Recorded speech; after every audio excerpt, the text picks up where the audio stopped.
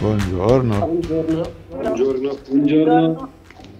Io sono Sara Giocolano e volevo chiederle se nonostante la carica che ricopre, quindi essendo un rettore universitario, medico e in modo molto ingenuo le chiedo inoltre se è padre di famiglia, se le è mai capitato di riuscire a non pensare anche per un attimo al disastro che la pandemia sta causando e nel caso di fare anche progetti.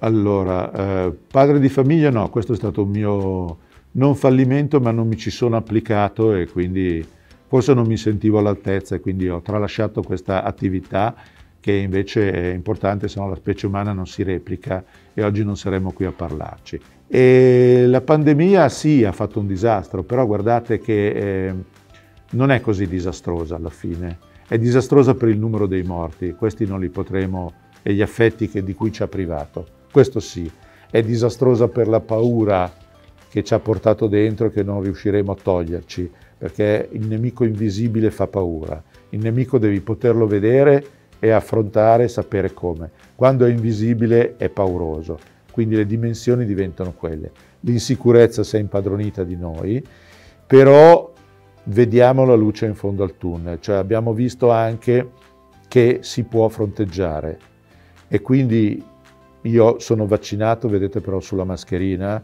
è un segno che non siamo ancora del tutto convinti che funzioni tutto alla perfezione, che possiamo non essere contagiosi e quindi però uno spiraglio la scienza ce l'ha dato.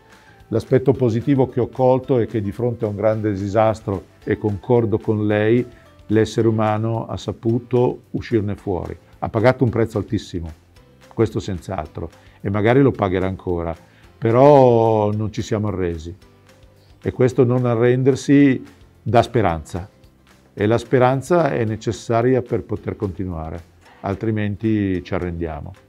E dobbiamo continuare assolutamente, guardare avanti e arrivare in fondo al tunnel dove iniziamo a vedere quella luce e la stiamo vedendo, a marzo non la vedevamo, adesso, marzo scorso intendo, adesso la vediamo.